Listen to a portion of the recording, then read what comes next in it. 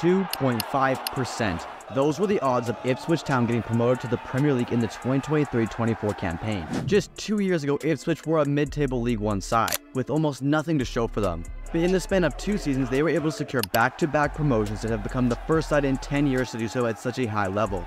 The Tractor Boys has been completely transformed into a top side and will return to the Premier League for the first time in 20 years. So how did they accomplish this? Let's begin back to the 2021-22 campaign. For a little bit of backstory, Ipswich Town for the last 20 years or so has been a team that has been bouncing around the Championship and League One. However, following a horrific 2018-19 campaign under manager Paul Lambert, the club found themselves playing some of the worst football they have seen in history, and they are placing around mid-table in League One every season leading up to the 2021-22 campaign, with very little hope in securing promotion. Their preseason campaign, though, was absolutely horrible, with them struggling to pull any wins from some pretty beatable teams in retrospect. And you could guess that team morale was at an all-time low. And heading into the regular season, things would get worse before they would get better. Their first five fixtures came against Morecambe, Burton Albion, Cheltenham Town, MK Dons, and AFC Wimbledon but sadly they came away with zero wins. Paul Lambert was struggling to implement his football philosophy which entailed rigid structure and strong defensive shape, leaving little room for individual flair, and in modern day football this is a huge part of the game. So having this incredible young team try and adapt to that concept would be a substantial challenge. By the January break, Lambert had only managed to accumulate a 34% win rate in the league,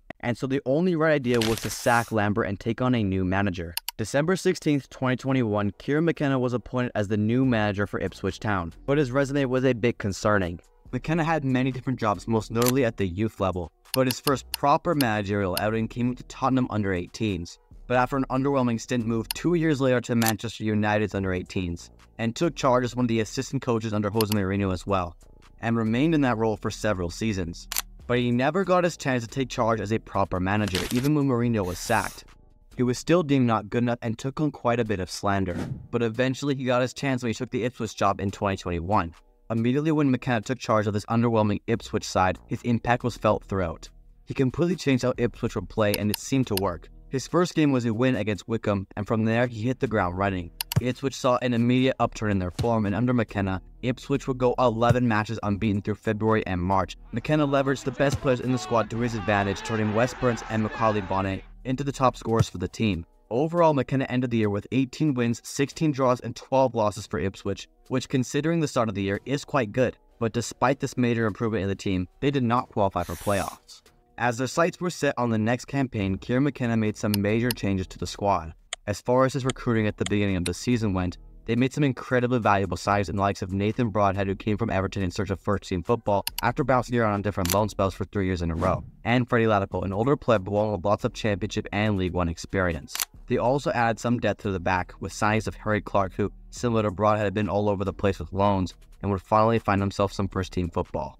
As this new and improved team moved into preseason, things started to look up for them as they were able to beat all the teams that were of their caliber, like Millwall and AFC Wimbledon, Ipswich Town started the 2022-23 year with the best form the club has seen in decades. Only one game lost in the first 10 fixtures. They crushed all of the mid-table teams, but the true test would come when they would play one of the title favorites, Sheffield Wednesday. At this point in the season, Sheffield had lost two games prior and were fourth in the table, and Ipswich were first. So taking a home win here would be very crucial in prolonging the hopes of promotion.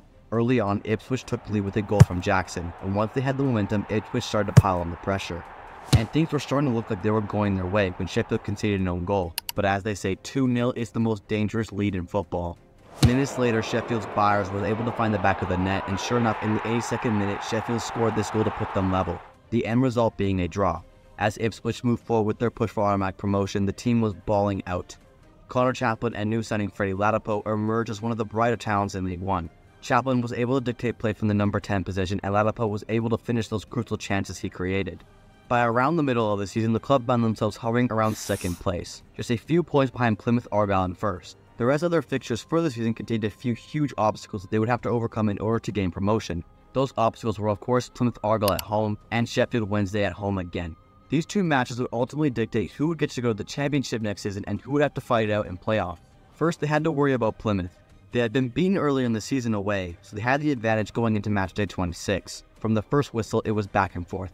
Both teams had some really good chances and the game could have gone either way, but Ipswich would have the upper hand in the 63rd minute after Burns was laid off from a cross and smashed it into the roof of the goal. But Plymouth never gave up, and in the 90th plus 3, Bali Mumba took no prisoners, whipping one into the top corner. He leveled the game and they ended up sharing the points, which was not the result Ipswich were wanting. A month later, they had to take on Sheffield Wednesday for the second time, and this match was going to be tough and a detrimental one for the title push. Early on from the first whistle, Ipswich took to Sheffield and left them no breathing room, and in the 19th minute were able to draw a penalty, and up stepped Connor Chaplin for Ipswich.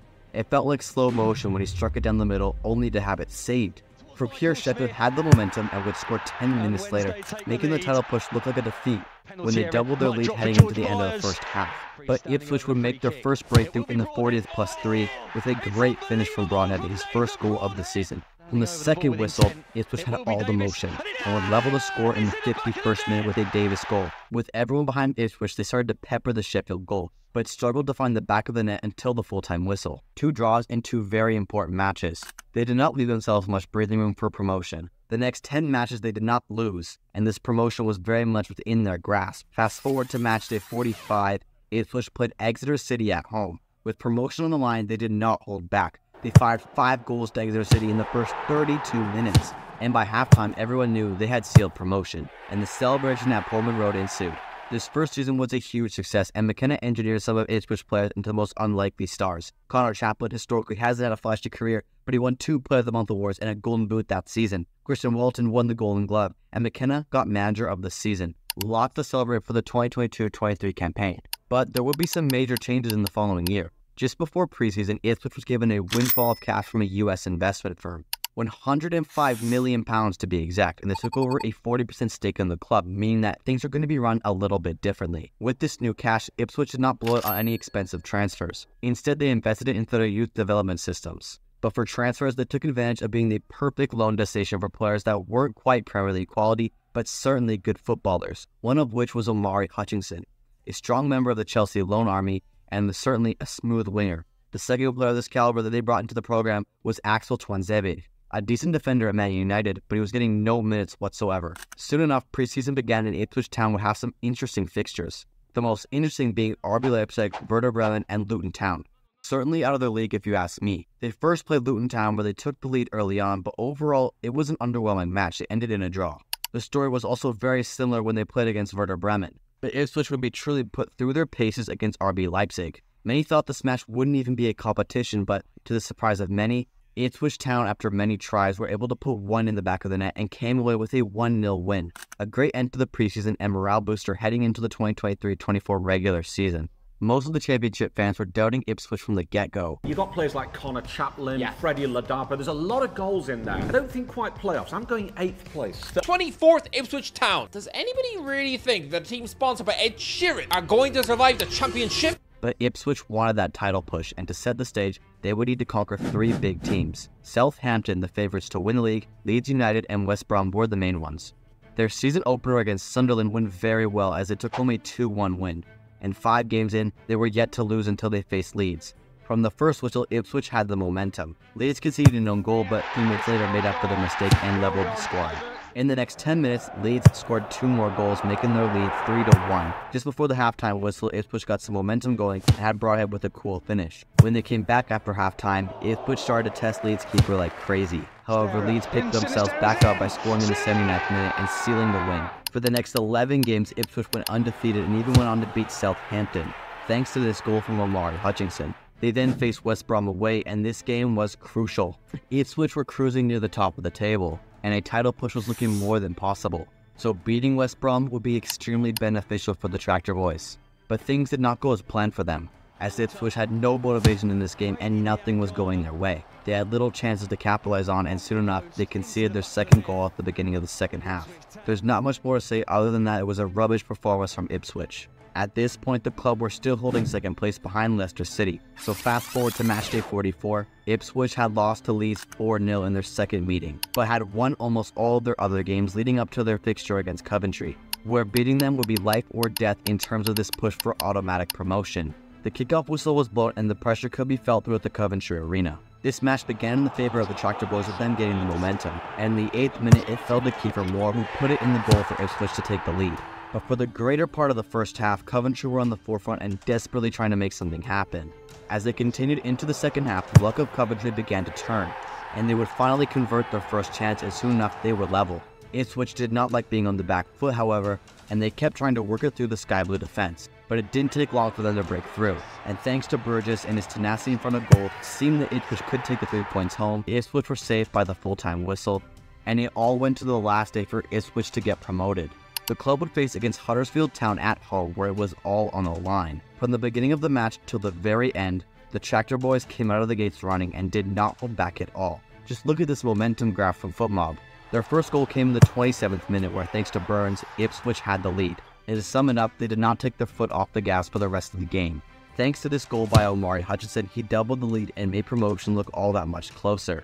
And at the full-time whistle, the stadium erupted, as Ipswich Town had done the impossible, proving everyone wrong and making it back to the Premier League for the first time in 20 years. A historic moment for the club and the fans, and all thanks to a man named Kieran McKenna and a few of his star ballers and the story of their club and how they got promoted like this will go down in history.